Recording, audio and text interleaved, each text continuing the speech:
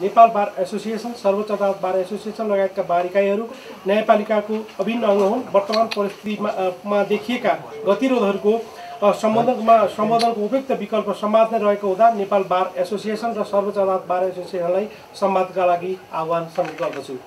कानुन र संविधानको व्याख्याको प्रश्न उठेका र उठ्न सक्ने विवादको निरूपण गर्ने राज्यको अङ्गका रूपमा न्यायपालिकाको सबैभन्दा विशालतम पक्ष नागरिकको विश्वास हो।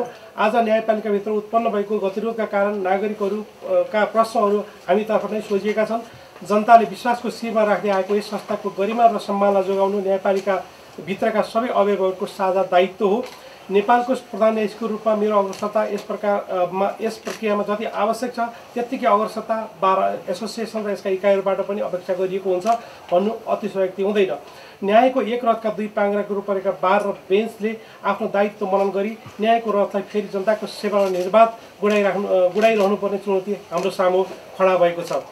यस यस गम्भीर परिस्थितिलाई मध्यनजर गर्दै न्यायपालिकाको संस्थागत सुधार र सबलीकरणका लागि हामी बिच हालसालै भएको संवाद र अन्तर्क्रियाबाट प्राप्त सुझाव एवं मान्य न्यायाधीश हरिकृष्ण कार्कीको प्रतिवेदनसहित विभिन्न समयमा न्यायपालिकाले स्वयंले गठन गरेका आएका प्रतिवेदनहरू कार्यान्वयन गर्ने सन्दर्भमा खुला हृदयका साथ अग्रसरता लिन म सधैँ तयार रहेको यथार्थपूर्ण अनुरोध गर्न चाहन्छु। सबै सरकारवाला पक्षले आफ्नो जिम्मेवारीको सीमावलोकन गर्दै स्वतन्त्र न्यायपालिकाको अस्तित्वलाई अझ सम्मानपूर्ण रूपमा अघि बढाउनु बढाउनुको विकल्प देखिँदैन।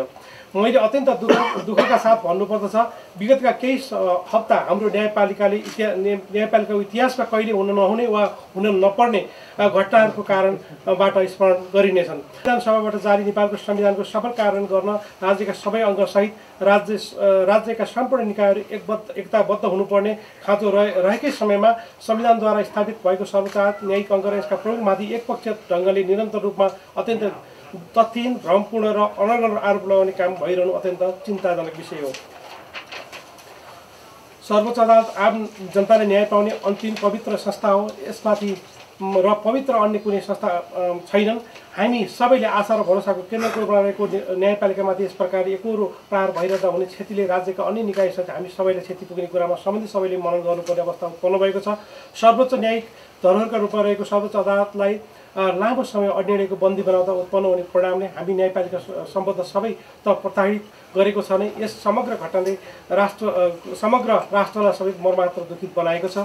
यसका बीच घटनाक्रमले न्यायपालिकाको पवित्रता गरिमा गरिमा एवं न्यायिक संस्थाको हाम्रो महान विरासतमा माथि जसरी प्रश्न उठेको छ त्यसका ला त्यसका सम्भावित दुर्गामी प्रभाव प्रभावको कल्पना मात्रले पनि हाम्रो हृदय कम्पित हुनु हुनुपर्दछ। यस न्याय यसले न्यायपालिकाको मात्र होइन हाम्रो लोकतन्त्रको समग्र आधार कमजोर बनाउँदछ।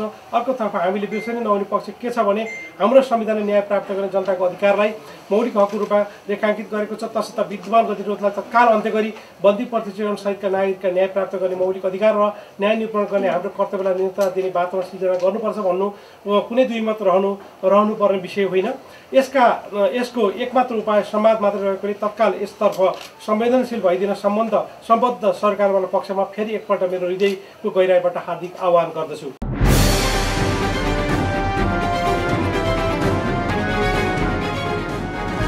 तपाईँको सूचनाको साथी दैनिकी डट कम।